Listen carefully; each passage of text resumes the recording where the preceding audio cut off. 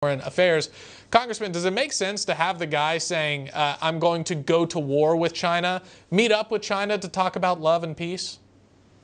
Well, and he'll tell you himself that he's met with uh, the president of the Chinese Communist Party more than any other leader in the world and their friends. And uh, I'm sure he's going to thank him behind closed doors for giving his son's company almost a billion dollars from the Chinese Communist Party on top of other projects uh, that the Chinese Communist Party has helped Hunter Biden and his associates with. Now, uh, this this meeting that he's going to have with Xi Jinping, first meeting between the two to talk about Taiwan. You know, we already established that doesn't make any sense. He's also going to talk about Russia, de-escalation efforts between the Russia war and Ukraine. Do you suspect anything beneficial to come from this meeting? Do you think it's a PR stunt? What are your thoughts on this? Yeah, it's 100% a PR stunt. Um, we already know where the Chinese Communist Party stands with Russia. They're an ally of Russia, and they're not. They're the number one national security threat of the the United States, and yet you have a president going over there and uh, uh, working with the Chinese Communist Party when the Chinese Communist Party want nothing but to destroy America, destroy our businesses, destroy our industry industries. Using climate change is one of those things uh, to destroy our industries here in the United States. Um, it's all a show. It's all political in nature. Nothing substantive will come out of it. And if it does, it's certainly not going to be an American first policy that will come out of the meeting.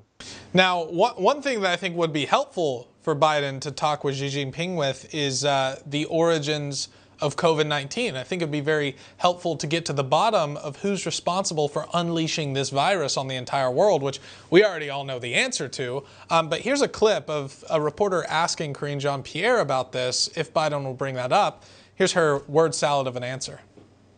When the president meets with President Xi, it's their first time meeting in person since President Biden took office. When he comes back, I know it's too early to tell if Republicans are going to take control of the Senate, of the House.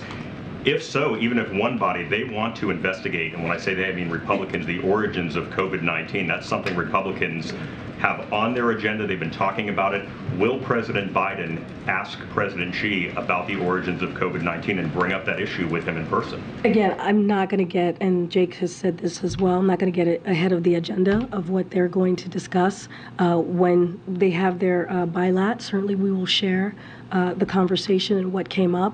Uh, the president has always been clear on getting to the bottom of, uh, of COVID um, and uh, and has been very clear in in uh, in reports that we have put out uh, on um, the origins uh, of COVID as well. But I'm just not going to get ahead of that conversation.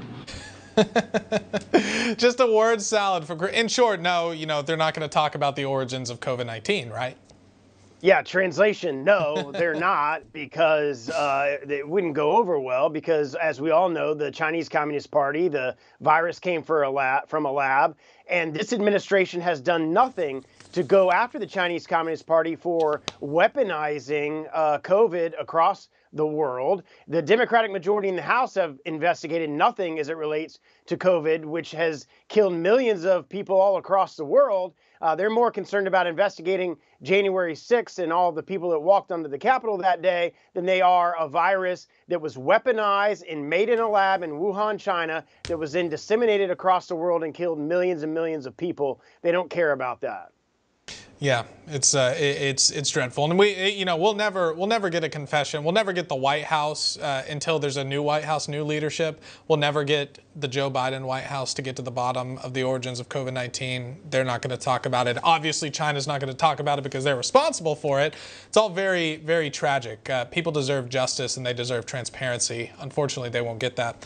Congressman, before we go, I want to thank you for your service. You served in the Thank United you. States Army, so we really appreciate that on this on this Veterans Day. Uh, quick message out to the veterans. I know you've you have posted to your social media wishing veterans a, a happy Veterans Day.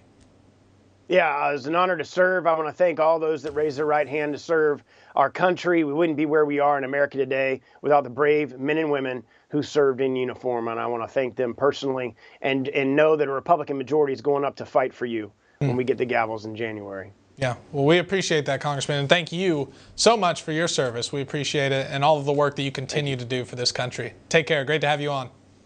Thanks. Anytime. Meanwhile, I want to bring in Congressman.